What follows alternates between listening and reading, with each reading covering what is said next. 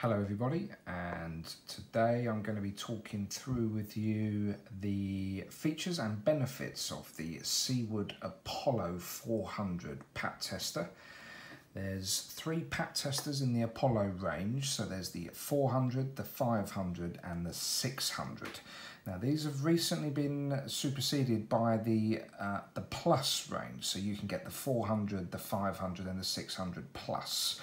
However, if you've got an older machine like I have, then you can easily upgrade the firmware uh, to the Plus range, which gives you more compatibility with the add-on hardware features like the uh, the barcode scanners and the label printers and such like. But today we'll just stick with the, uh, the outline features of the 400. Now this is a programmable and downloadable tester. So that means that you can edit and create um, test functions to suit your needs. Um, so if you're testing more of a particular type of equipment, um, like 110 volt tools or cables, then you can add in and edit tests um, to suit that to make it easier for you when you're testing the equipment and to make it a bit quicker for you. So the Apollo range has a nice QWERTY keyboard, um, nice sturdy buttons. So we're going to switch it on. I'm just going to run you through the menu functions here. And what's also great about this machine as well is the battery life is really good. You'll get a whole day's testing from the, uh, the battery. And uh, so there we are on the home screen.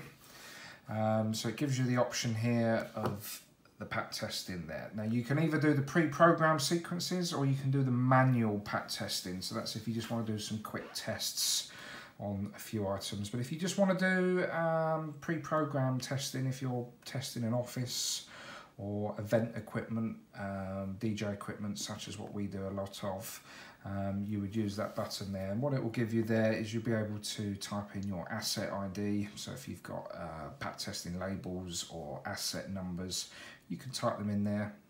Test sequence here.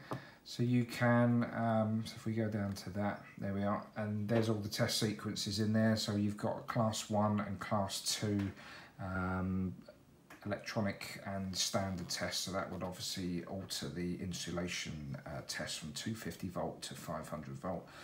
13 amp extension leads, a uh, couple for RCD extension leads and surge protected.